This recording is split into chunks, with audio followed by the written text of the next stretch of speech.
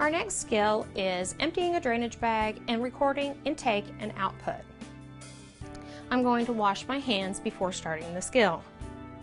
Hello Beth, my name is Mari and I'm your aide today. I'm going to be measuring your intake and output now.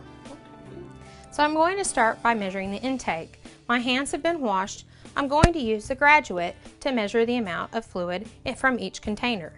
Each of my cups is marked with the amount that it started with. This is a 400 milliliter cup.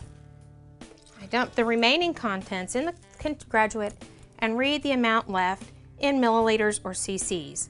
There's approximately 100 left in this cup. So that means that I have 300 milliliters from this cup. I return that to the original container and measure the second cup. This cup started with 600 milliliters. There are approximately 150 milliliters left. That means that my patient drank 450 milliliters. I'll add 300 and 450 together to give me a total of 750 milliliters for intake. I will document that on my record. Next, I will put on some gloves and obtain the urine from her drainage bag. For this, I'll put a barrier on the floor. I will use a different graduate that's marked for urine. And I will set that on the floor underneath the drainage bag. I'll open up the tubing on the drainage bag and empty the urine from the bag into the graduate, making sure that I have emptied all of the urine out of the bag.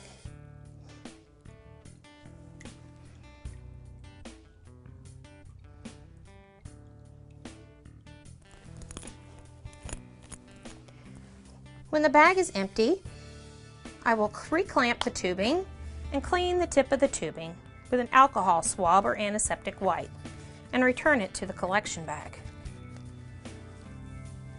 My waterproof barrier will go in the trash along with my antiseptic swipe and I will measure the amount of urine that was in the collection bag. There's approximately 725 milliliters in my container. So I will document that as my output. I'll then take the urine container to the bathroom, dump the urine in the toilet, and clean the collection container in the appropriate way according to my facility. I will go back, I will clean up the remainder of my supplies, take off my gloves, wash my hands, and assure that Beth is left with her side rails up if ordered, head of the bed at 30 degrees, call light and reach, and bed in low position. Is there anything else I can do for you, Beth? I don't think so. All right. Now I will make sure that my supplies are taken care of, wash my hands again, record, and report.